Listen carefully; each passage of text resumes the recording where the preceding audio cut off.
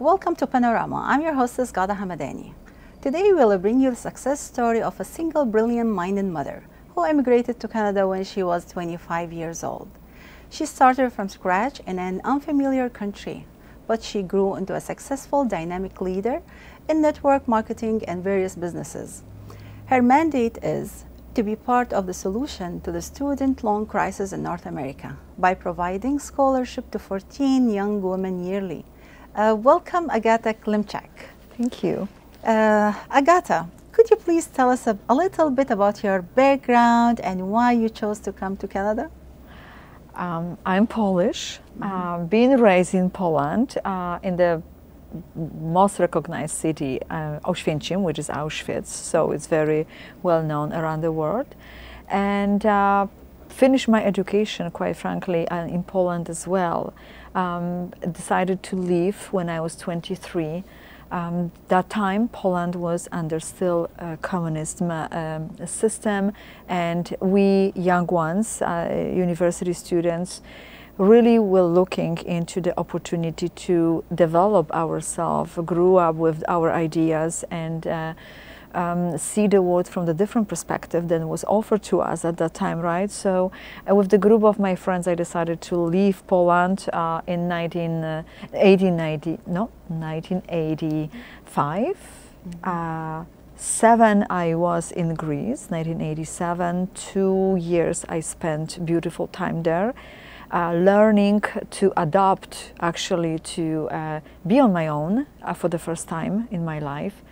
And 1989 uh, in January, my feet uh, landed here in Canada uh, at the airport and I started my journey. So it will be 30 years, right? Wow and uh, 30 years January 13 Friday actually it was cold Friday and uh, I don't regret actually. Uh, it's it's wonderful. I was able to uh, pursue with my career, um, find myself in a different way than I um, educate myself in Poland.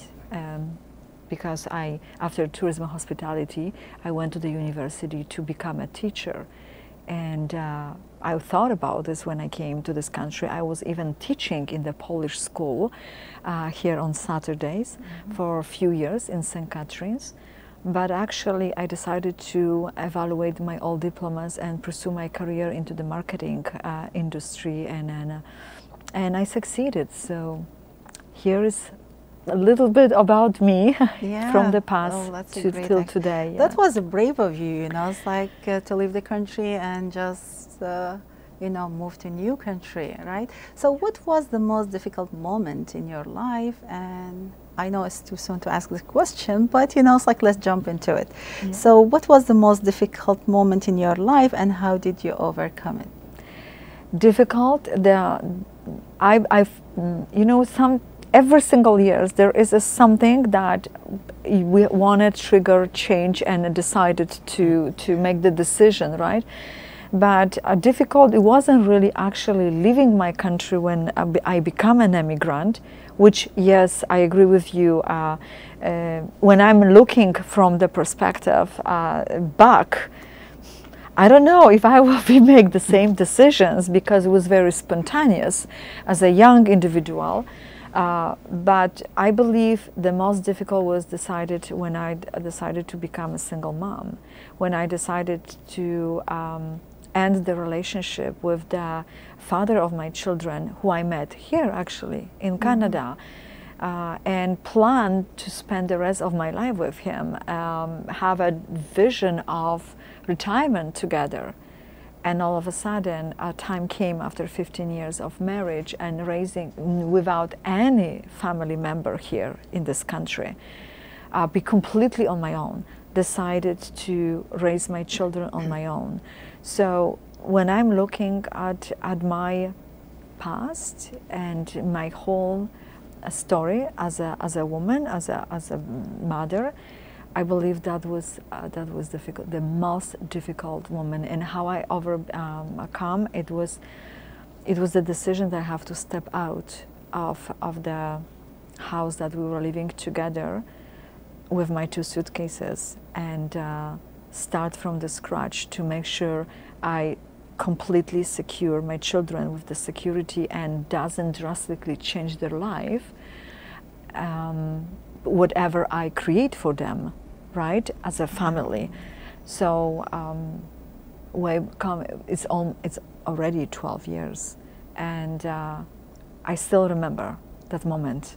So, with all obstacles that went on my personal road, I found that was the, the decision of mine as much as right now it was the right decision. And uh, I am in the good terms uh, mm-hmm. with my ex husband. He's in Vancouver, and my children have a great relationship with the father. Um, that was, I believe, mm-hmm. as a woman, as a mother, um, yeah, as a family yeah. um, creator, this is the, the, the toughest. I know, yeah. Toughest one. And actually, later on, you know, like I think you founded the Brilliant Minded Women organization, which was founded in 2013 and expanded into a nonprofit foundation in 2016. What was your vision to create the Brilliant Minded Women organization, and why you started it? Um, because of the ladies like you yeah. um, uh, and many, many more. Um, fortunate enough, I was in the business, in the network marketing business, that mm-hmm. allowed me to explore myself, grew to the successful leader, and uh, stand in front of the thousands of people myself. It wasn't in Canada. Mm-hmm. It was everywhere else, in Europe, in the United States, and uh, and all of a sudden one day i met uh, it was in dallas when i met a lady from canada who was on the stage doing extraordinary incredible things for the community and, and for the children for others. And i said that is uh, insane almost that i have to travel so far to hear another canadian lady wow. speaking right who doing so much dude. And then when i came back and i said well i've been recognized. I, i'm serving the purpose already.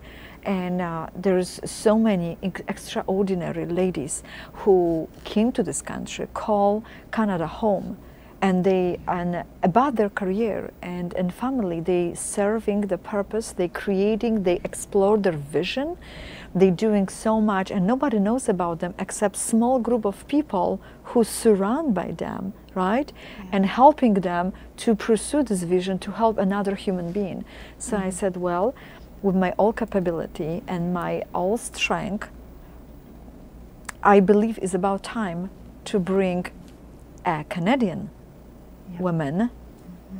and, and everybody who helps them on the more public um, uh, level. And that's how, uh, you know, I just I spoke with a friend of mine who is also accountant for this mm-hmm. beautiful, brilliant-minded woman organization foundation and a successful accountant in the industry. And I said, mm-hmm. he said, yes, you are the brilliant, I, brilliant. And I said, that's exactly how the uh, my business gonna call a brilliant-minded women. Exactly. And yeah. here you are. we are here today, uh, yes, yeah. uh, coming close to the fifth gala. And I met many incredible individuals that we will celebrate the number 100 this year. Uh, the Brilliant Minded Women organization provides scholarship and workshop programs. Could you tell us a little bit more about them, please?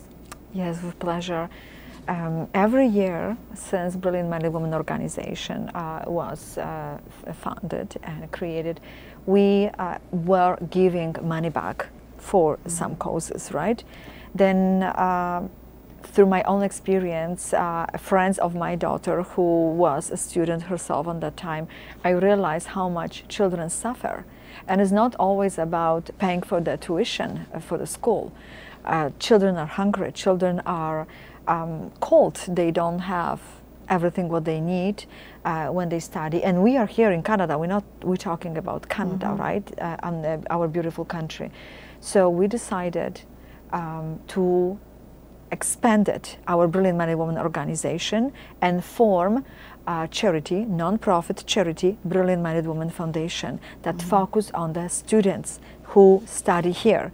Actually, it's a post post secondary education, so mm-hmm. doesn't only is. Uh, um, provide the needs for you when you go to the University of College. There can be a course whatever it needs to be paid, you can always apply it to the Brilliant Minded Foundation and uh, ask for the funds. Uh, regarding uh, mentorship, and we give the scholarships up to 40,000 per mm-hmm. four years. Uh, you may qualify for it. We do have a student who qualified for 17,000. Mm-hmm. She's receiving that money faithfully every single month and it just uh, covered her needs, whatever uh, she is um, required to, uh, mm-hmm. you know, finance. She's doing already masters right now. So how do they apply to it? Is it open to the public? Is it? It is uh, open to the public. Uh, mm-hmm. our uh, um, application mm-hmm. is on Brilliant Minded Woman website it's mm-hmm. brilliantmindedwoman.ca, mm-hmm. and you will find under foundation you will find a um, scholarship program explain to you everybody who will like to support also mm-hmm. they can review what is uh, available for them as a appreciation in the return mm-hmm. and also students may find out uh, what is required mm-hmm. to apply it i'm not we're not looking for the marks we're building future leaders and that's why we are uh, creating a mentorship for the for the students as well. Why? We believe that uh, children has a lot to offer, but when they finish school, when they graduate, actually they are lost. They are not prepared to step in into the business or corporate world, mm-hmm. and it's very it's necessary and it's almost must to build the skills when they during their their um, time when they uh, have the scholarship and they connect with us to build them to the position that develop their personal skills team player skills uh, philanthropy skills mm-hmm. right? Uh, that is uh, the requirement. More details definitely on the website. They can always contact us directly sit down with us. Parents are always welcome. And uh, we I'm hoping we're growing them more than 14 um, children per, per year. Mm-hmm. And all, all those beautiful awardees that we reward every year, serving uh, the purpose as a mentors, as a coaches. Oh, that's wonderful. Uh, directly and publicly as well if we create an, an event for and for you us. accept donations from public or you, you just wait for the government fund uh, how do you fund the scholarship program? So far, we uh, we raise the funds. Uh, okay. If it's a government grant, usually is uh, we we receive one government grant last year. Mm-hmm. It was uh, we focus on the bringing awareness of it, so it was um, more giving back to the student. So it was not giving the money to the student. Okay. It was serving the purpose of uh, creating uh, the environment for mm-hmm. everybody who will like to hear more mm-hmm. about this and uh, create an event that we gathering uh, mm, business world and mm-hmm. entrepreneurs in the one room that allow them to not only meet and greet and network, but also appreciate and celebrate mm-hmm. everybody, students who receive the scholarship and awardees that are our, our mentors and coaches. Now that's wonderful. Yeah. Okay, women usually, you know, it's like we often, you know, we often feel guilty, right? Setting boundaries and prioritizing, you know, their needs. So as a single mother of two, were you able to prioritize your needs without feeling guilty or selfish? Um, every time when I make the decision that was taking the time from the family, uh, it was uh, directly for my needs or for career needs. Mm-hmm. I explained myself that this is for uh, for my children to open the door so did I have did I have a regrets or I felt guilty? Probably at that time, um, yes, because you know we always feel guilty if we are not giving the uh, 24 hours to our family, exactly. right? Yes. But at the same time, uh, I knew that I'm doing the right thing because if it's uh, uh, bring the opportunity, more opportunities for my children and uh, for, for our development as a family and me as a, as a woman. So, um, do I regret? No. Do I felt guilty? Uh, maybe there were moments, but at the same time, uh, I just truly knew Okay. that is that is uh, Yeah. everything what I'm doing is to for them. Have you ever felt resentful, you know, it's like of people asking too much of you? Um, no, I tell you why. Uh, people may ask me a lots of uh, for lots of favors, and uh, and I learned to say no because I also receive a lots of no. Right, so. Um, if the people asking me, and I know people expect a lot from me, and uh, included a favored, uh, and just sometimes I just question myself: Is this is this uh, serving the purpose? Yes. Right. So um, if they take personally and they feel resemblance, well, um, I I think it's more on another side than on mine, because if I'm helping, I'm helping. If I'm serving, I'm serving, and uh, if I can't, I simply they, they feel it and they know. So. Agata, what brings you joy? see my children um, communicate the way they communicate, uh, see them be respectful uh, and uh, truly bonded with the family and uh, culture that actually I grew up with, and uh, um, they're doing this on the sincere level, not because I tell them to or I want them to, but because they really appreciate um, my, my my old home culture and every single one. The joy that my children were, uh, right now they're on their own, but you know what? Till today, they bring um, in my home was always every color of the skin every language Yeah. Uh, all around the world. And we had amazing time. And i continue that through you know uh, channel and and uh, uh, committed and and, and uh, communicate with with others. And the joy to see practically my work is done by the end of the year when we celebrate. This is the most appreciative uh, moment and joyful time for me that everybody enjoy and connect and vibrate on the same level and the mm-hmm. energy is there you can feel it so Yeah. what can be better right this is like another Exactly. child and, Yes, yeah. and yeah. that that's all yeah Okay. that's it So, have you ever experienced the negative voice in your head saying things like, you can't do it? And what do you do to motivate yourself when you don't feel like continuing? I always hear that voice Mhm. because I set my dreams and the vision is very high. And uh, sometimes it's very difficult to understand um, for others, right? So I hear that I hear this inside my head, Mhm. and I hear this to my face on the top of that, right? And uh, how I motivate myself, um, I learn to stick to the vision Mhm. regardless how it is. And I know with my impatient um, personality, Yeah. uh, sometimes it's it's uh, it's very difficult to to deal with my own because it's it's the moments that uh, you know you just want to close the door and give up, right? Yes. Uh, but usually, uh, I don't close the door. I reach out to others. There's always another person that I can share, and uh, they will not motivate me, but they say, "Oh, come on, Yeah. you are that far." Okay, you're not gonna give up at, Yeah. at this uh, right at the moment, and then I said, "Okay, am I doing this for me, or I'm I'm serving a purpose?"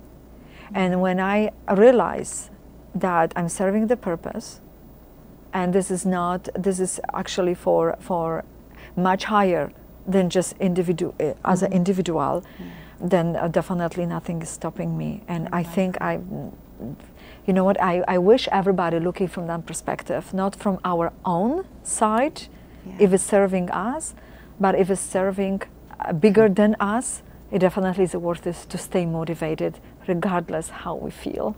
okay, yeah, exactly. So we're gonna ask you a question, you know, some personal things, you know, it's like what's been your greatest or favorite personal accomplishments and why? Accomplishment. Yeah. Personal Uh, accomplishment. Personal. Yep. my development, my personal development. Mhm. Um, I changed with the time, with the age. How? Um, more calm, Mhm. more open-minded.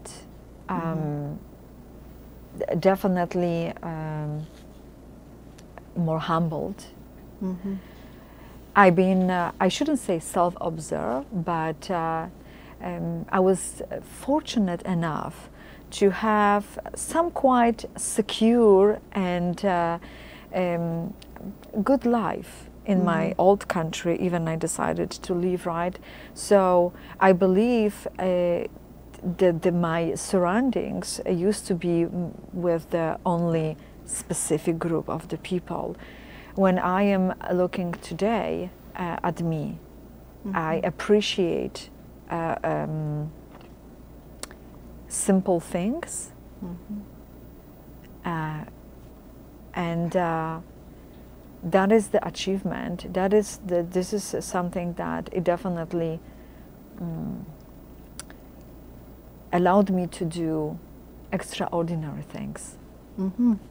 Yeah. you know and I, I hope i hope you know what i mean right uh, from a somebody uh, who is not always uh, open-minded Mhm. to everything around Yeah. to the person that appreciate um, different culture um, learning and uh, i believe my own self-development and and uh, my growth Mhm. to the much higher level Yeah. I grew up to be more humble, and this is this is definitely uh, a success. Uh, I believe we all learned that here in Canada, right? We came from different backgrounds. You know, we have our culture, we have our, you know, it's like uh, traditions and stuff. But then when you come to Canada, with multicultural environment, you know, you you have to actually you start to realize, you know, it's like and recognize others, and that's what you know True. changes. Yeah, right? I agree. Yeah. And and uh, I I for me it's a success. It is. I truly is. appreciate that, and I value this, yeah. and I am lucky that I was able to uh, uh, be exposed to it right. and and learn from it as well. Mm -hmm. It gave me that is, that is the best education I ever received, and and my ha, that's a success. Okay. So last question. Yeah. As a grown woman, if you could speak to your younger self, what advice would you give her? Um, first, respect yourself and others, Mhm. and uh, we always, you know, um, say don't be afraid to dream and and and you know open your mind on the higher level. But I believe if we can respect and instead respect, truly respect others, every single door will be open Mhm. because we will know how to deal in the different situations. And we will not take uh, our failures that we may experience as a as a uh, drama. Mhm. because the inner ourself will allow us to continue with the pride with the dignity with the sincereness and kindness. And and will uh, and and don't ever stop learning Yes. Doesn't mean we have to go to school for it Mhm. but we can um, you know that every single day we expose to another person who can teach us something be open-minded True. uh, always look for the opportunities and definitely uh, don't treat your life as a one uh, uh, road to the success. There is there is going to be a lots of upside downs, but mm-hmm. if we if we continue to learn and we respect others and ourselves, there's definitely a bright light at the end. Thank you, Agata. Thank you. Until next time, have a good night.